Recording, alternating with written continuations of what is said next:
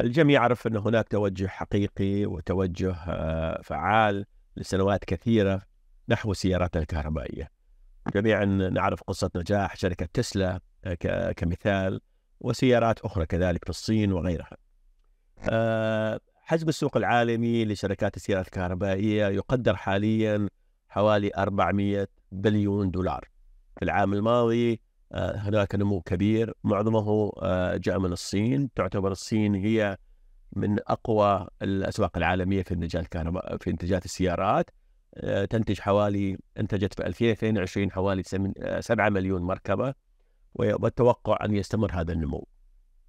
فالصين تعتبر سوق مهمة مهمة جدا في هذا الموضوع وكذلك ستتوقع أن تستمر هذا الشيء.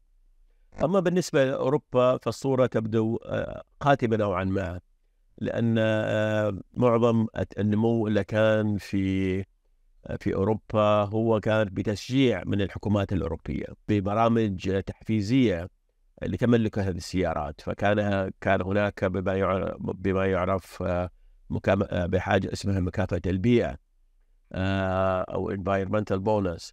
وهي تصل في بعض الدول إلى آلاف من اليوروات وهذه يعني خلت المستهلك يتوجه السيارات الكهربائيه لأنه يقول لك إذا سأوفر مبلغا ما آه، من الحكومة تعطيني ليش لا؟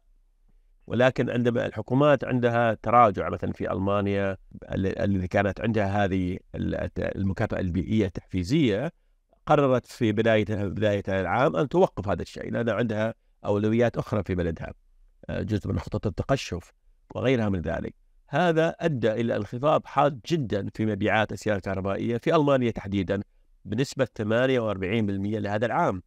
مجرد راح التحفيز الناس رجعوا إلى السيارات آه، الحفورية ذات الوقود الحفوري فهذا لا يعني آه، على أساس السيارات الكهربائية تستمر بالإنتاج وبالنمو لازم تكون آه، فيها market transparency يعني ما تكون تدخل حكومي لتدخل حكومي لن يستطيع أن يستمر في جميع الدول. فهنا هذه المعضلة بالنسبة للسيارات الكهربائية. تعتمد كثير منها على تدخلات الحكومات والحكومات عندها أولويات تختلف من سنة إلى أخرى. طبعا هناك تحديات أخرى آه، مثلا سأذكر منها أن البطاريات الشحن اللي هي تعتبر هي زي الماكينة أهم أهم آه، عنصر موجود في السيارات. يدخل في إنتاجها مادة مهمة هي مادة الليثيوم.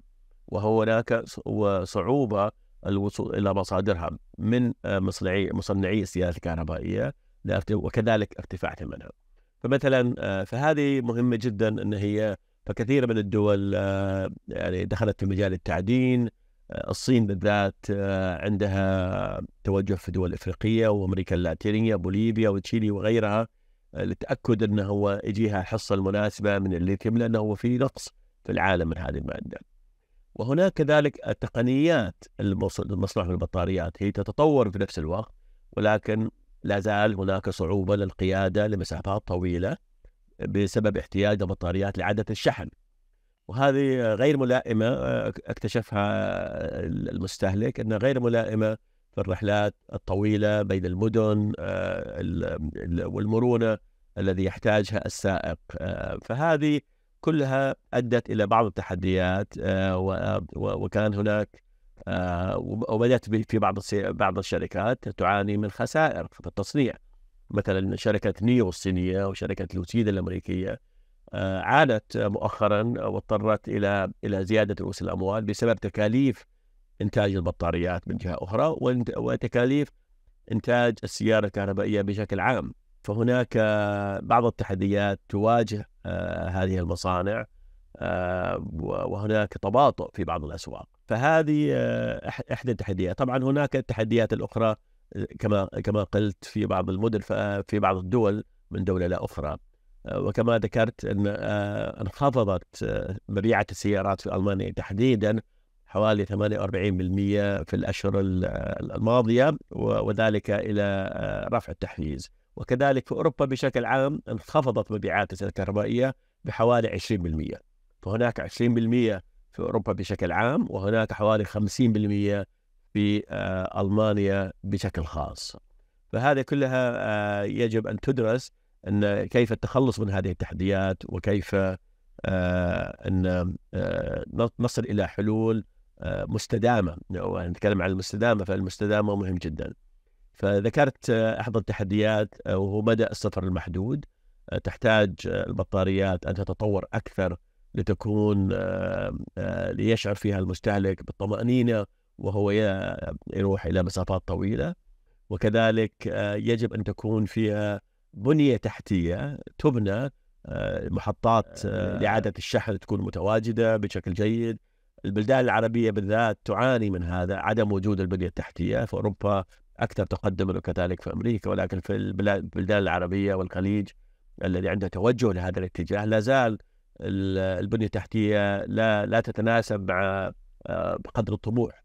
وكذلك عندك زمن الشحن الطويل. يستغرق آه، شحن البطارية الكهربائية آه، وقتا أطول مقارنة بملء خزان الوقود التقليدي. وهذا يسبب إزعاج لذلك اللي يعتمدون على سيارتهم بشكل يومي فما عندهم الوقت انه يوقف السيارة نص ساعة ساعة الا ربع على أساس تعبي سيارته كهرباء ويمشي. هو متعود يوقف خمس دقائق يعبي بنزين ويمشي. فهنا آه، تقنيات الشحن السريع يجب أن تتطور بشكل أفضل. لا زال الشحن, السريع آه، الموجود حاليا. يستغرق آه، وقت أطول من تربيه من تعبئة خزان الوقود التقليدي.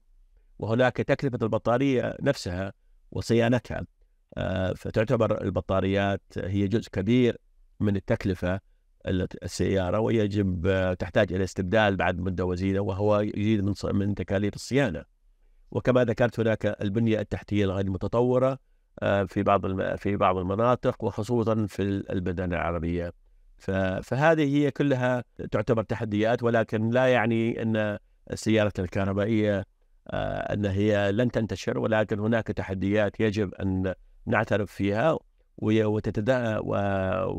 وتحتاج تدخل الحكومات سواء لاستمرار الدعم في البلدان الغربية والمستهلكة أو إنشاء آه، شبكة إعادة شحن آه، وتكنولوجيا أعلى من الموجود آه، لترجع هذه الصناعة تسترد عافيتها. فالسؤال هل هو الانخفاض في هذه المبيعات هو مطب مؤقت أو أنه يبشر بشكل أكثر خطورة. أنا أعتقد هو مطب مؤقت وطارئ إلى أن ما تثبت هذه الأمور وتكون ثابتة آه، في أوروبا آه، وترجع المبيعات كما كانت.